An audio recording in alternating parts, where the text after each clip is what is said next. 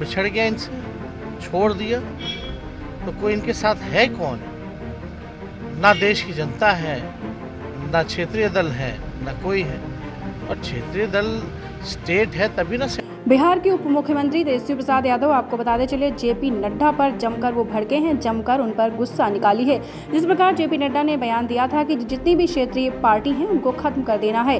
क्षेत्रीय पार्टी ही परिवारवाद को बढ़ावा देती है, यानी क्षेत्रीय पार्टी से परिवारवाद को बढ़ावा मिलता है। जेपी नड्डा के बयान पर तेजस्वी प्रसाद यादव जमकर भड़के हैं और जनगणना के बयान पर भी उनके उन्होंने जमकर भड़ास निकाली उनका साफ़ तौर पर कहना है तेजस्वी यादव का कि अगर ऐसा ही है तो जनगणना केंद्र सरकार में क्यों नहीं करवा लेते? जनगणना होनी चाहिए। साफ़ शब्दों में उन्होंने जेपी नड्डा पर जमकर भड़ास निकाली है। जमकर गुस्सा हुए हैं। हम आपको सुनवाते हैं। तेजस्वी प्रसाद यादव क्या कुछ कह रहे हैं? सुने आप। जो है से जो है राज्य सरकार जो है कराएगी। लेकिन असल में ये तो काम जो है मानवता के लिए हुआ है ना। और सही साइंटिफिक डेटा जो है, वो सरकार के पास होने चाहिए ताकि वो उस हिसाब से योजनाएँ बनाए।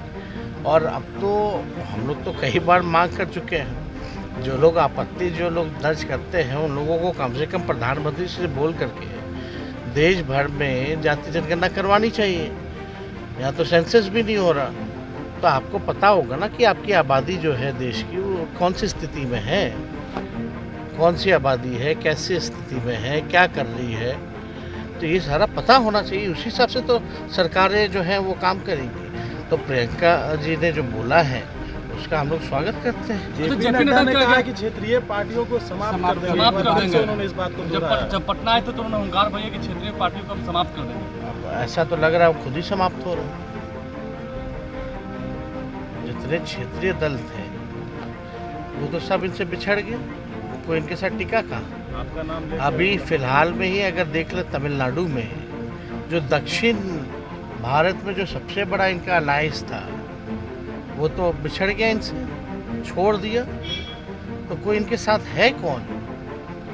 ना देश की जनता है ना क्षेत्रीय दल है ना कोई है। और क्षेत्रीय दल स्टेट है तभी ना सेंटर है भाई। जब स्टेटे नहीं रहेगा तो सेंटर किस बात का अच्छा बिहार में बीजेपी से ग्रेट ले रही है। जो आप लोगों ने कास्ट सर्वे कराया उसका आप करिए कि हम लोग के सहयोग बिना नहीं हो पाता। हम लोग सरकार में थे इसीलिए हुआ है। हम लोग के सहयोग बिना नहीं हो पाता। इतना अच्छा काम है तो देश में करा ना दे काहेला मोदी जी मना कर देते हैं। काहेला इनके मंत्री सब लोकसभा राज्यसभा में बोलते हैं हम नहीं कराएँगे। करवा ले। दीक्षांत एडुटेक लाया है Dikshant digital class. Dikshant digital class का उपयोग कर छात्र बना सकते हैं, पढ़ाई को बेहद आसान और मज़ेदार। दीक्षांत डिजिटल क्लास को स्कूल में बैठकर देखना है तो पेन ड्राइव और स्मार्ट टीवी बनेगा सही माध्यम। चलिए अब ये भी जानते हैं कि दीक्षांत डिजिटल क्लास का फ़ी स्ट्रक्चर क्या होगा?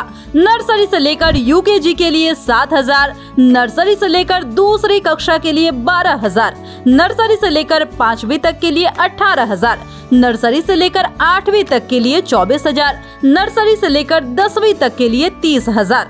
अगर आपको डेमो करना है तो उसके लिए आप दीक्षांत डिजिटल क्लास के यूट्यूब चैनल को विज़िट कर सकते हैं। हमारे YouTube चैनल को सब्सक्राइब और Facebook पेज को लाइक करना ना भूले। धन्यवाद।